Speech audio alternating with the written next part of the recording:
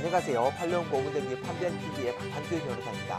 2023년 12월 1일자 판례공보 형사 박사방 운영진과 실검 챌린지 방조 사건입니다. 선고일은 2023년 10월 18일이고요. 사건 번호는 2022도 15537 판결입니다. 이 사건은 이제 아청법 위반 음란물 배포 등 방조에 관한 사건이고요.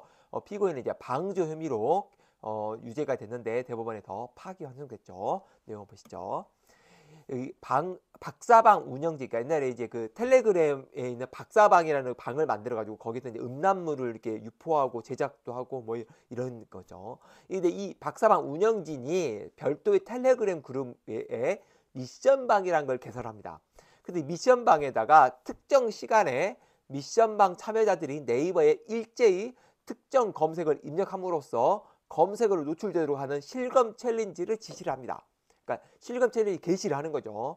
그래서 이 피고인이 2019년 12월 2일 날 피해자 A, 이 사람은 약간 유명인이었던 것 같아요. 그 피해자 A의 음란물을 게시한 것과 관련해서 해서 피고인이 미션방의 지시에 따라서 4회에 걸쳐서 검색어를 입력하고 그 검색 사실을 그 텔레방, 그 미션방 안에다가 올려가지고 인증을 한 거예요. 그래서 음란물 배포 행위에 대한 방조로서 기소가 된 겁니다.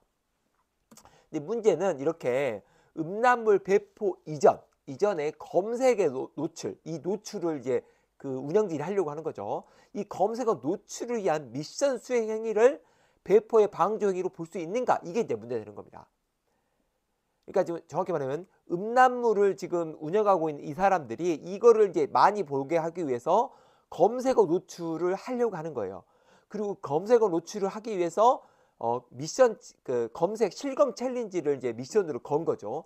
그 미션 챌린지에 참여한 거를 방송으로 볼 수 있느냐 요겁니다. 대부분 뭐라 하냐면 공지 시점과 검색 시점이 상당히 짧은 사실은 인정이 된다. 그런데 이제 그런데 그런데 그죠. 미션 공지 시점보다 약 40분 전부터 동일한 키워드가 반복적으로 검색되고 있었다. 그러니까 미션 이전에 이미 공습이 되고 있었다는 거죠. 피고인은 그 전부터 피해자 이름을 알고 있었고 미션방 참여자는 2,700명인데 2일 동안 피해자를 검색한 사람은 12,000여 명으로 미션방 이외의 다른 사람들도 다양한 경로와 동기에서 이를 검색하였을 가능성 또한 배제할 수 없다는 겁니다. 그리고 이겨서 또 하나가 실검 챌린지에 참여하지 않아도 채팅방에서 강제로 탈퇴되지는 않았어요. 그렇다면 대법원이 보기에는 오히려 운영진이 음란물 판매를 촉진하는 의도로 시작한 첼리검 챌린지 등의 피고인 등이 이용되고 볼 여지가 있다는 겁니다. 그러니까 이 지금 실검 챌린지의 그 의미가 음란물을 배포하기 위해서 한 건지 아니면 그냥 배포와 상관없이 이 미션방을 가중해서 어떤 활성화, 그러니까 그 판매 활성화를 음란물의 일반적인 판매 활성화를 위해서 한 건지 이렇게 될 수도 있기 때문에 그리고 피고인도 이러한 그 이 실검 챌린지를 동참하기 위해서 한 건지 아니면 그냥 했다가 이렇게 있으니까 그거를 본 건지 뭐 여러 가지가 문제가 되는 거죠. 어쨌든 이 피고 그러니까 박사방 운영진의 그 의도와 피고인의 의도가 어느 정도 일치를 해야 방조회가 되는다는 겁니다. 근데 그 부분이 지금 명확하지 않다라는 게 대법원의 판단인 겁니다. 여기 보면 피고인이 박사방 운영진과 음란물 배포의 범죄 실현을 위해 실검 챌린지가 이루어지는 사실을 인식하고 했다면 방조가 될 수 있다는 겁니다. 요것도 같이 꼭 기억해 주십니다.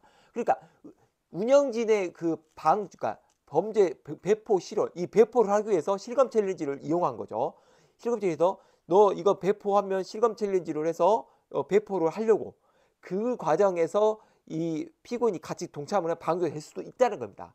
하지만 이 대법원이 보기에는 운영진이 실검 챌린지를 단순한 홍보 수단으로 이용했다고 볼 여지가 있다는 겁니다. 그러니까 이 A의 영상을 퍼뜨리게 하는 게 아니라 그냥 이 음란물 자체를 홍보 수단으로 이용할 수도 있고 또 해당 검색어가 다양한 경로로 이루어져 있었기 때문에 피고인이 어, 나는 그냥 검색한 거다라고 말했을 때 그럴 수도 있다라는 거로 대법원을 볼 수 있다라는 겁니다. 결국은 검찰이 운영진의 의사와 피고인의 그 의사가 어떤 교감이 있었는지에 대해서 교감을 해서 실검 처리를 한 것인지를 검찰이 입증하지 못한 것이 무죄의 원인인 겁니다.